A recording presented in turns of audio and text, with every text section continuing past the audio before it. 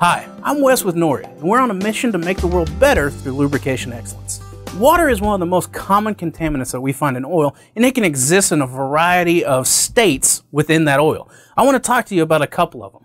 One of the first ones that we want to talk about is dissolved water. Now, dissolved water is where the water is evenly dispersed throughout the entire oil, and it still appears clean and bright. We don't see any cloudiness or anything else. Now, we hit a point called the saturation point. The saturation point changes with temperature, changes with the age of the oil, how many additives are in it, and everything else.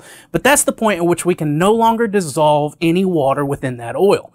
Beyond that, we start getting into emulsified or an emulsion of oil and water. And this is when the, the oil becomes cloudy. It starts looking milky.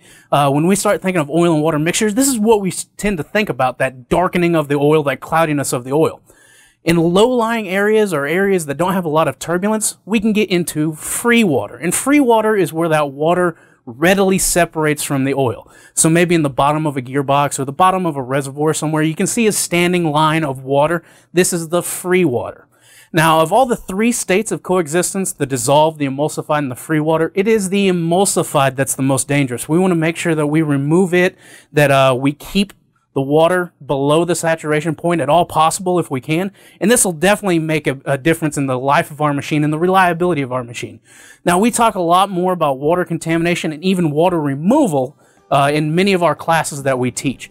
To find out when a class is coming near you or to learn more about attending one of these classes, please visit us at noria.com.